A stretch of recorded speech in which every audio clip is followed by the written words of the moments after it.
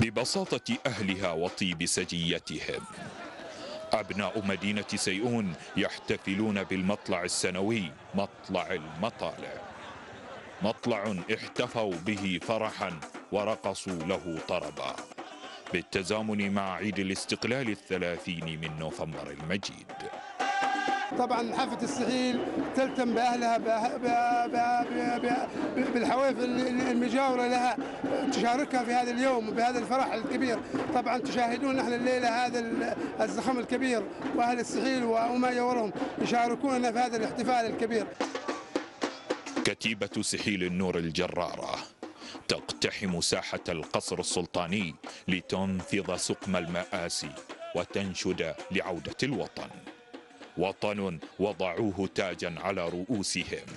قادته حفظوا عهد الرجال للرجال فقبلت جباههم.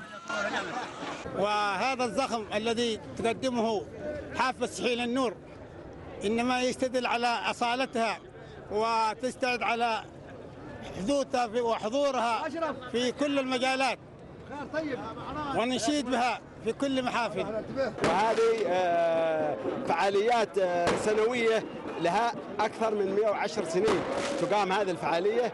آه، توارثها الآباء والأجداد والهدف منها هو البقاء على تعريف الجيل الجديد على الموروث الشعبي وما خلفه الآباء والأجداد في حضرموت عامة وفي سيئون خاصة.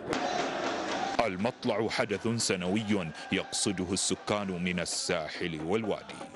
للمشاركة في فعالياته الشعبية والاجتماعية والتراثية. فعاليات تأسر لب الحضور وتنسيهم بعضا من قساوة الأزمات الراهنة. محمد بحثين الغد المشرق. سيئون.